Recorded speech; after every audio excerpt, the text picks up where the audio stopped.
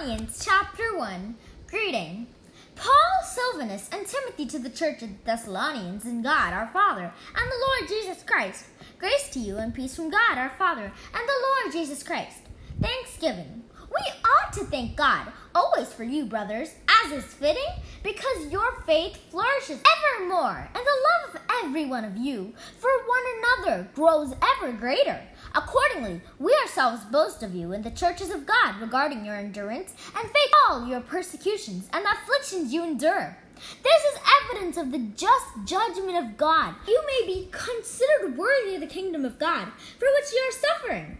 For it is surely just on God's part to repay with afflictions those who are afflicting you, and to grant rest along with us to you who are undergoing afflictions and at the revelation of the Lord Jesus from heaven with his mighty angel blazing fire inflicting punishment on those who do not acknowledge God and on those who do not obey the gospel of our Lord Jesus. These will pay the penalty of eternal ruin, separated from the presence of the Lord and from the glory of his power, when he comes to be glorified among his holy ones, to be marveled on that day among all who have believed.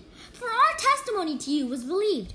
Prayer. To this end, we always pray for you, that our God may make you worthy of his calling and powerfully bring to fulfillment every good purpose and every effort of faith that the name of our Lord Jesus may be glorified in you, and you in him, and accord with the grace of our God and Lord Jesus Christ.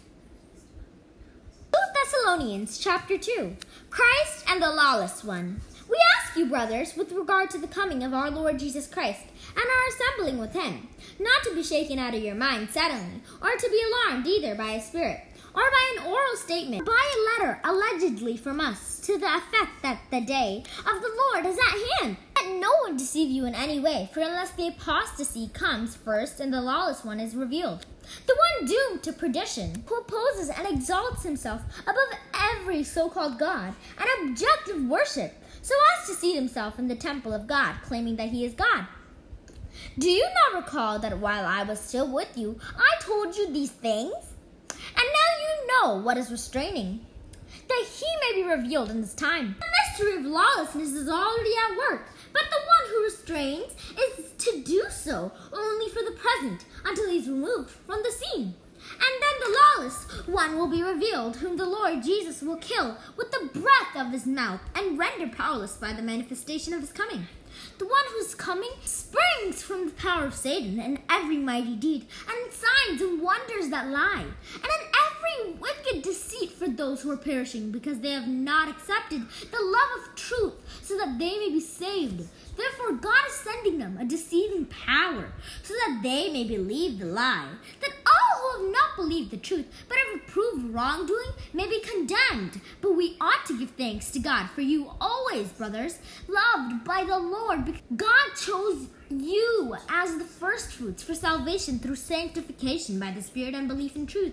To this end, he has also called you through our gospel to possess the glory of our Lord Jesus Christ.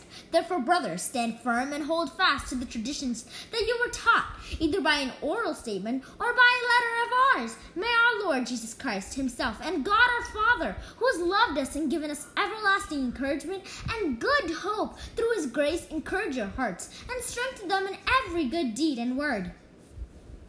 Thessalonians chapter 3 Requests for prayers. Finally, brothers, pray for us, so that the word of the Lord may speed forward and be glorified, as it did among you, and that we may be delivered from perverse and wicked people, for not all have faith. The Lord is faithful. He will strengthen you and guard you from the evil one.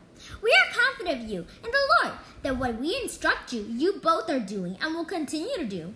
May the Lord direct your hearts to the love of God and to the endurance of Christ, neglect of work. We instruct you, brothers, in the name of our Lord Jesus Christ, to shun any brother who conducts himself in disorderly way, and not according to the tradition they received from us.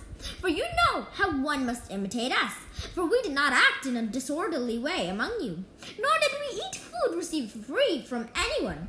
On the contrary, in toil and drudgery, night and day we worked, as not to burden any of you. Note that we did not have the right, rather, we wanted to present ourselves as a model for you, so that you might imitate us.